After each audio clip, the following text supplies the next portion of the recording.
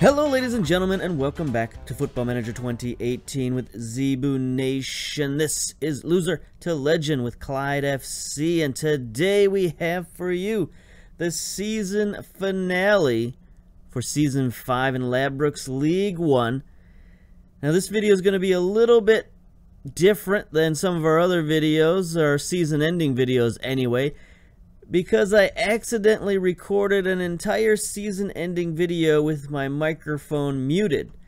So it's already past the end of the season now that I'm recording this video. I don't want to have to like replay the end of the season. I kind of was okay with the end of the season, so I wanted to keep it. But we're going to record another video with sound because, I don't know, because uh, that's how these videos work, I guess.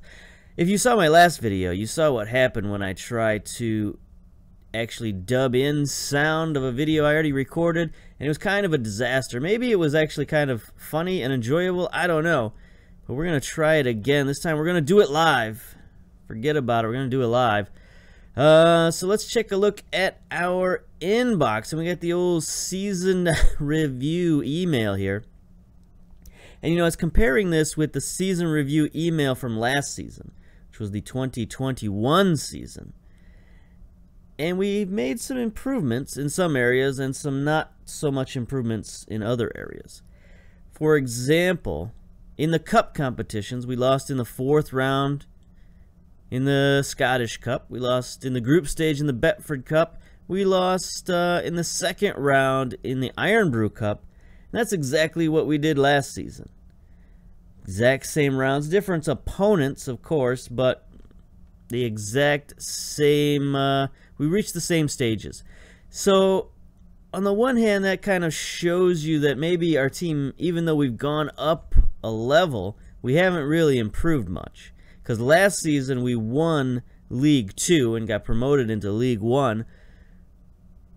And when you do that, when you get promoted to a new league, you kind of want to improve your team and improve the quality. And, and maybe that would show up in the cup competitions by being able to reach further into the competitions but that wasn't really the plan for this season. The plan for this season, because expectations were so low, I decided that we were going to play more of our youngsters and see what we could get out of our youngsters and basically play the same team that won League 2 in League 1 and see how we could finish there. And as you can see, we finished 8th in League 1, which is good enough to avoid relegation, but uh, not really a stellar season. Although that was basically what the board wanted us to do, so that's fine. The place we did improve, which is interesting, is average attendance. 928 last season in our uh, league championship season. We only averaged 615 fans.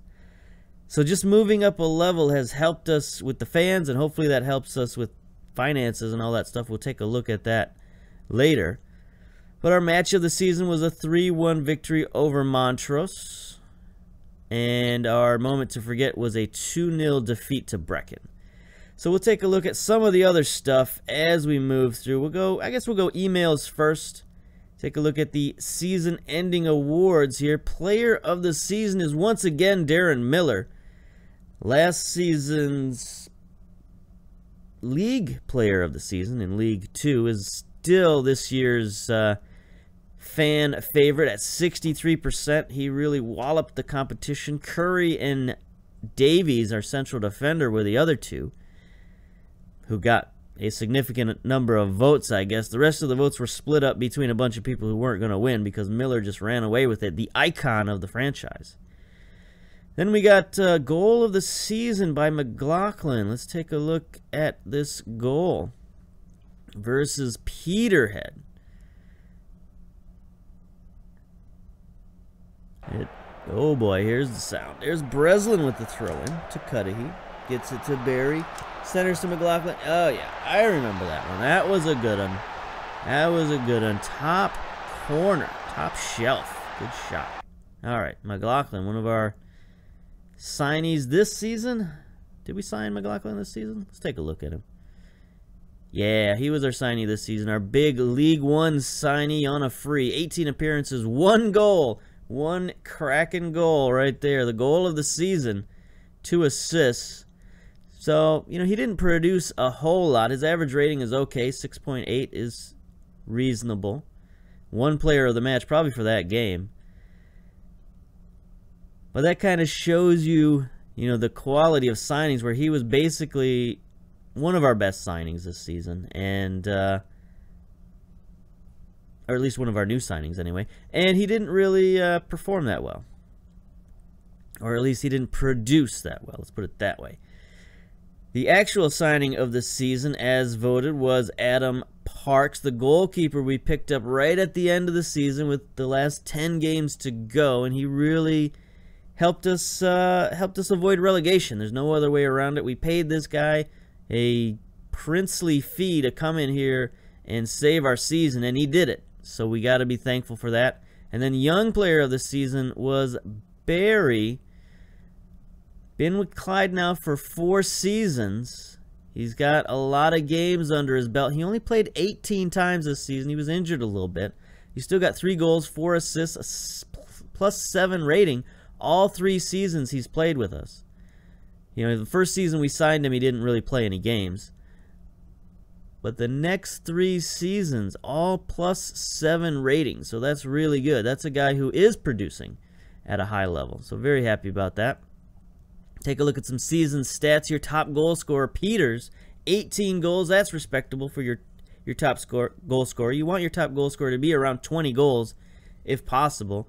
So that's pretty good. Highest average rating, again, Peters. It's funny he didn't get any votes for player of the season. He's considering he's a top goal scorer and our top average player. Most assists, Dallas out there on the right wing with eight assists. Best pass completion, Connolly, 81%, the deep lying playmaker. He didn't play a ton this season, I don't think. He's only, you know, he's a marginal player, 23 years old, only two-star guy. He's probably not going to get much better than this. But what he does, he does relatively well. He passes the ball, as you can see with his, his passing. So this season, yeah, he only played 16 games, got two assists, 6.91 rating. That's reasonable.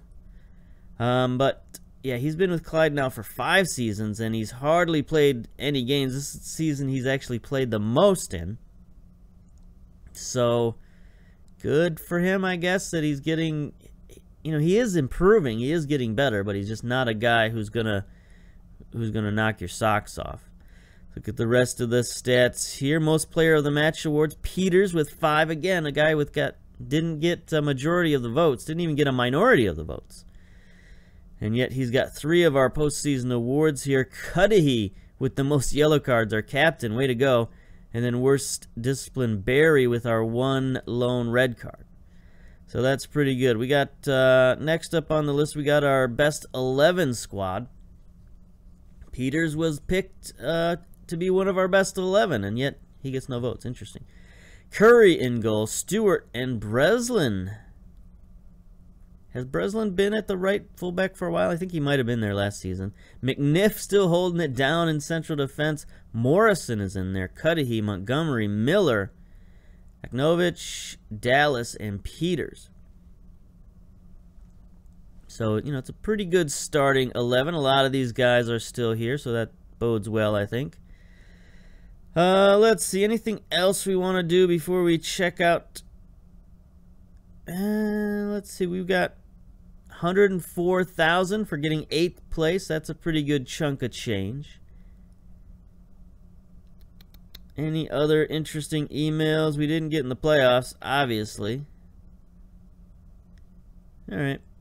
Not a lot going on. So let's take a look at the actual competitions. Take a look at the final league table, we finished in eighth place after 36 games, nine wins, 14 draws, 13 losses. Guess that's okay. Plus three goal differential is pretty good. A total of 41 points. So we finished not just out of relegation, but well out of relegation. 11 points ahead of Forfar. And if you saw our previous video, you saw that uh, at the three quarter season mark, we only had four wins. So we actually went on a pretty good run there at the end of the season. Let's take a look at the table and take a look at that form. And there we go. Look at that run at the end of the season. Pretty, pretty good. So the game we watched in that last episode was right here versus Forfar 2 1. Pretty good victory, an important victory. That's a victory that kept us kept us within reach of eighth place, and it's a very important win. Then we came back and had two tough losses versus two top teams, Stranraer and Queen of the South.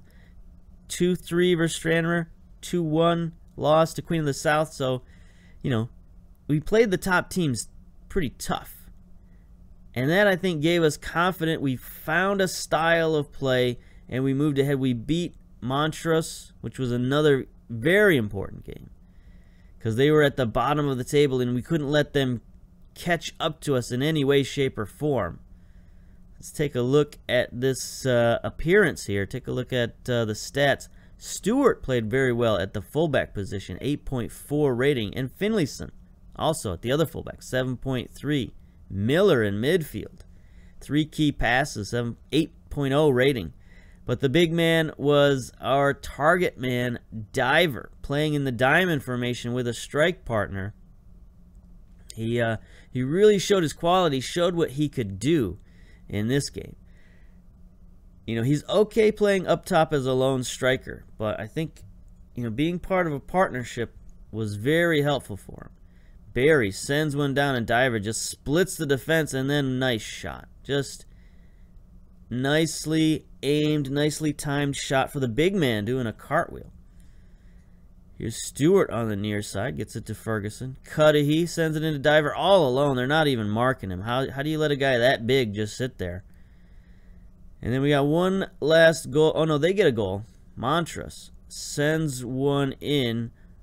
Osi gets the shot stopped, the Parks can't stop the rebound. It was not great defending there on the back line to let Osi just take shot after shot.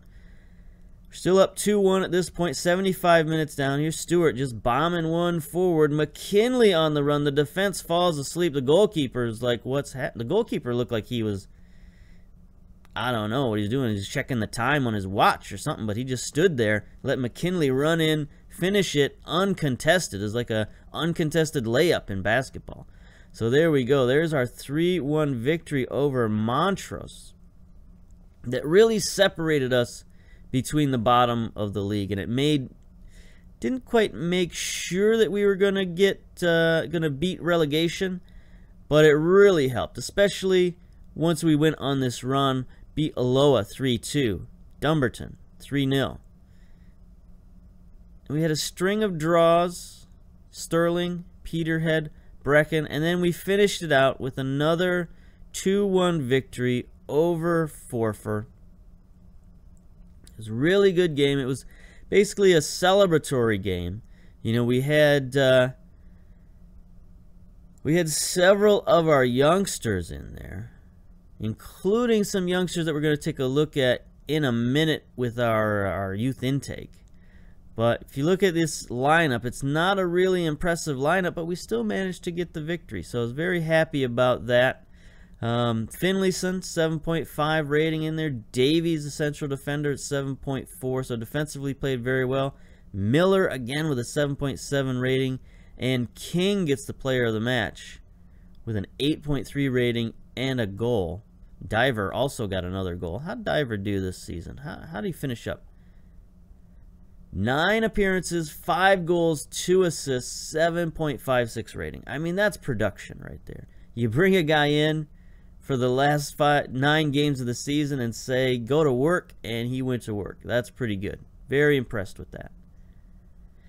So, okay, we've seen our form. We've seen how we finished. Let's, uh, let's just go down the checklist and finish out this video real quick. We got the under 20s, we had a pretty nice youth intake. Let's get rid of some of these guys here. Can we get rid of some of these guys?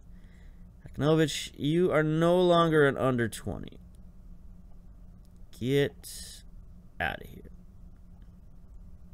Uh, is it worth doing that? I don't know. Connolly, you're not in the under 20s either. Get out of here. Get out of here. Curry, obviously not under 20s. I don't you know, goalie is going to be something to think about next season. Like, what are we going to do with all of these goalkeepers we got? You know, and veteran goalkeepers, too. I think that, uh, I think that Parks has proved himself, right? That he's he should be our man going forward. He's got much more potential than Curry. He's got more current ability than Curry. He's younger than Curry.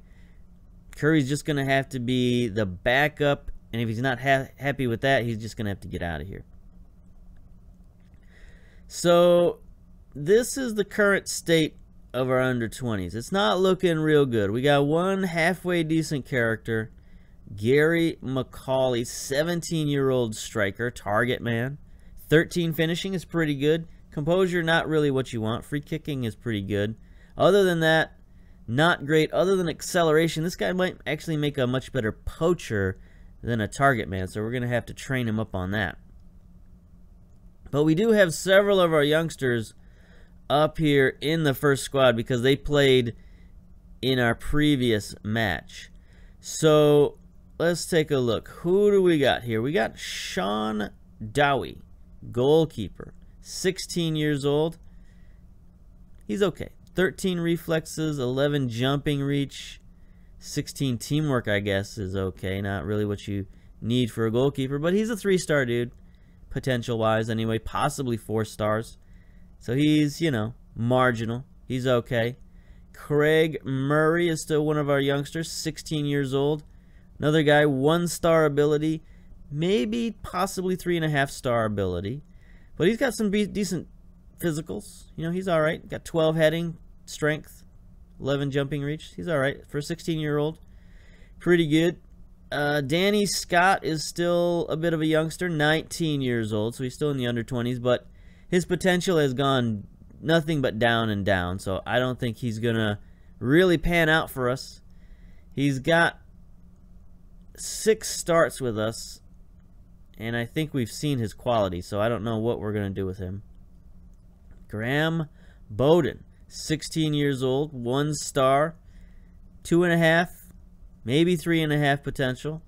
He's okay fitness wise, is pretty good. Jumping reach, interesting for a center midfielder who can play everywhere up the middle.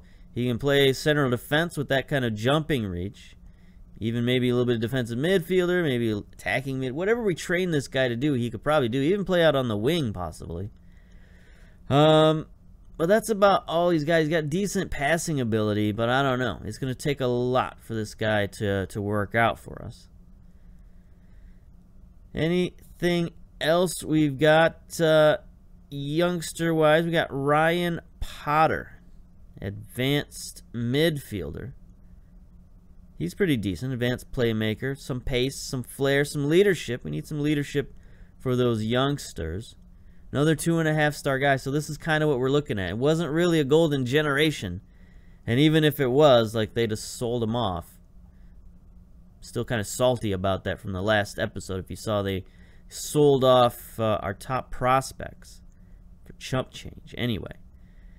So we're not going to be getting a lot of help next season from our under 20. So we got to figure out a new plan. Financially, also not so good. So I don't know where that plan is going to come from.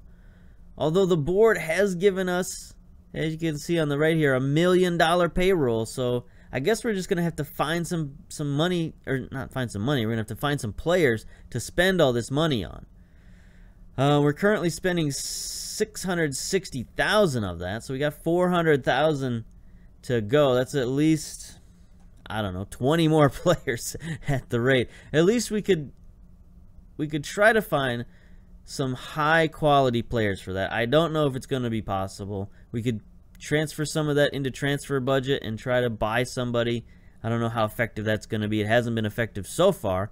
But we got to do something to move up this league one table, and I don't know that our youngsters are going to cut it for us. Board wise, we're still secure 59%, almost 60%, but, uh, you know, they're still fine with our finances and our leadership, even okay with our tactics a little bit, 53%. That's good. There's nothing really, really bad here, but competitions, I guess, 49%. Uh, club issues, our job value is getting higher and higher, 68%. That's pretty good. Club stature is still okay, 59%. Develop players using the club's youth system. That's a new thing we got to do, which is unfortunate that our last group of recruits wasn't really that promising, even though we added this to our philosophy. So we got to find some youngsters to sign, and we got to find some prospects to develop. So we got to work on those two things. Club wise, not much has changed. Facilities, field condition is still good. Adequate training facilities, below average youth facilities. We don't have the money to change any of that. Average coaching is pretty good. Basic youth recruitment, I'd love to change that. The board does not seem interested in doing any of that. Can we make a board request? Networking. Um, we could cut back on youth recruitment, but we cannot increase youth recruitment. So it's no good. No good. General, General Cudahy, McKinley still favored personnel. Duffy, Brown, head coaches who are icons, but we are not an icon. Miller is an icon. But we've yet to make the list. Uh, and this kind of brings me to another topic is that we, at the end of the season, we had Rangers sniffing around. They actually offered us an interview, and we took an interview with Rangers, one of the top teams in all of Scotland. I thought we had a very good interview. We were, the fans, you know, in the newspapers, the fans said, hey, Zebu Nation Jr. is our number one candidate. But for whatever reason, Rangers didn't hire me. Maybe it's because I don't have a high enough coaching badge, right? I don't have a, a pro license or even an A license. So maybe that's what held me back from getting that Rangers job. But that's something we got to think about going forward is who would we leave Clyde for? You know, because we've done a lot for Clyde. We haven't become even a favored personnel yet, which is kind of disappointing. And the board is undercutting us by selling out our youngsters. So I'm a little disenchanted with the board right now. But who would we leave them for? We definitely leave them for Rangers or Celtic. Either one of those two come calling, we're leaving. Who else? I don't know. I don't know. Would we leave for another premiership team? I don't know. Would we go for a national coaching job? Maybe. That would be interesting. Try to become a legend of Scotland by coaching the national team. Maybe we can look at the under 23s if it's an Olympic year. Is 2022 an Olympic year? Possibly. Yes? I don't know. I'll have to look into it. But anyway, we'll look into those things later. But for now, we are with Clyde. We have signed a new contract, so there's no problems there. Take a look at our contract. Getting 65,000 now. We're actually making more than our goalkeeper's making now, so that's good. It expires again. It's just a one-year contract, but we got some raises in there if we get promoted, so that's fun. Transfers, we can take a look at the transfer history. Not much has happened since the end of the season. Obviously, transfer window is not open currently that I recall. Anyway, we're not doing any business. Uh, medical center, probably not that important right now. Same with, uh, we signed some staff. We now have a full medical staff. We have a full recruitment staff. Two whole scouts on the team. That's good. And a chief scout. So we are all scouted up. No data analysts. We don't have a data analyst facility. Maybe we could use one in the future, but for now we don't need one. And then the rest of our staff is still pretty good. We're still the best staff in uh, League One by leaps and bounds. We are number one in every category. So no real reason to make changes there. Team report. Do we do we care about looking at this? Stats, I suppose. Best player in terms of shots. Cudahy, 25% of his shots scored this season. Only 8 shots, 2 goals. Kessie, shots on target. 5 of his 7 were on target. That's pretty good. Penalties scored, we had two players. Uh, worst player, Darren Miller. 63 shots, zero goals. That's no good. That's got to change. You got to do something about that. And also shots on target. Only nine of his 63 on target. So we gotta we gotta do something about Miller. We gotta tell him not to shoot so much. That's no good. For somebody taking that many shots, we gotta we gotta worry about that. Um, mistakes leading to goals. So we had 600 total mistakes this season, and 15 of them went for goals. Okay, that's interesting. I don't really don't really want to see that. Um, okay, this is interesting. We can look at our leading scorers here. Peters, 18 goals on 78 shots. That's okay. I guess. Hit his last goal 111 minutes ago, so that's not so good. Diver had his last goal one minute ago, so there you go. He's a prolific scorer. Anyway, discipline. Worst player was Stewart. 84 tackles attempted, 54. So he's not a great tackler. Morrison, that's interesting. One of our central defenders. 48 tackles attempted, 43 completed. That's pretty good. That's a nice percentage right there. Um, Curry, our goalkeeper, had one foul in 30 games. Hendry, our defensive forward, had 26 fouls in 14 games. Look out. All right, we could get lost in the weeds here. I don't know how much we need to we need to continue on with this. But anyway, dynamics looking real good. Hierarchy. Lots of team leaders. Four influential players. Curry, Barry, McKinley, Stewart. Peters has moved up into a team leader. That's where that extra guy came from. So that's pretty good. Finally have three team leaders. What's his leadership actually look like? Five. So I don't know why all these bad leaders keep getting pushed to the top of the hierarchy, but whatever. I guess some leadership is better than no leadership. I don't know if that's actually true. 33 players support. Three players have no opinions of us.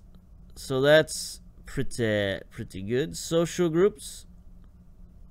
Miller and his band of merry men here. Social group A. Now Barry has formed his own little social group with some new players and some old players as well. Barry Parks Bowden, Lindsay Ferguson. That's an interesting mix of players. Um, roughly the same amount of time and are generally balanced. So I don't know why all these guys aren't in the main social group. I don't know. Uh, our youngsters who were called up from the academy are the only guys in the others, so we're looking pretty good. Happiness. Everybody seems pretty copacetic. Uh, Jack Breslin's a little concerned with playing time. He didn't play a ton this year, but he got he got a good amount of games. I don't know what he's complaining about. For a two-star character, he's reached his level as well. Got 15 games. That's pretty good. Half the season, basically. So I don't know what he's complaining about. So there we go. That's the season finale. I don't know exactly what else to do since we don't have a game to play. We've looked at everything we can look at. I think we just need to consider what we're doing next season. We've got that huge budget. We got to find some players. We got to find somebody to uh, bring in here and improve the quality of the team. So there we go. There's the board has set the initial payroll to 1.2 million and transfer budget of zero. We have signed a few players.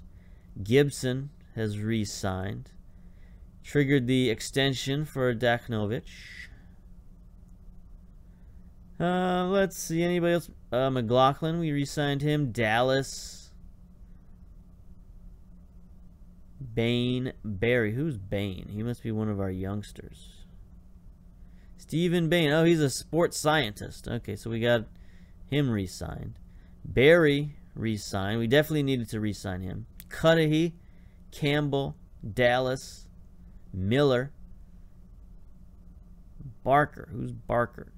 New coach, old coach. I don't think we signed a new coach. Yes, we did sign a new coach. He was at Weston-super-Mare in the Vanarama League. So apparently we went out and got this guy. He's pretty decent. 12 motivating, discipline. He's going to be one of our general coaches, I assume. Yeah, just a coach. Decent attacking, technical, tactical. works with youngsters, judging player ability. I wish this guy was a scout for us. But anyway, improve the coaching staff that's already the best in the league. I guess that's good. Strength upon strength. So there we go. We've signed a lot of our top players. I think there's still a lot of players left that we're going to leave unsigned. And uh, maybe try to improve the squad with... Uh, yeah, so we got Hog, Wilson, Henvey is out of contract. Yeah, it's probably best. We don't necessarily need him if he's not going to play. Kessie's looking for a new deal. That's, I don't know, Hendry, Curry, Stewart, Morrison. I mean, some of these guys we got to we got to think about. McKinley. I'd love to get Diver back on loan. Ferguson. He didn't play a ton for us this season, but uh, he's he's a pretty good player, a pretty good prospect. Played 13 games for us, got a goal, two assists. It's okay. It's okay. So yeah, we got a lot of work to do on the roster for next season. And uh, that's about it. You know, we got the new MLS save coming up this next week, starting Monday. So we're going to work on that. That's going to be hopefully a daily series Monday through Thursday at least, maybe Monday through Friday. And then we'll play Clyde FC on the weekends. So that's going to be it for now. So until next season, season six, we'll see you later. Bye bye. Who will fill your heart with pride? Dressed up in the red and black, we an L sign on the back. They've a winger and a keeper and a great big carpet sweeper. It's a bully.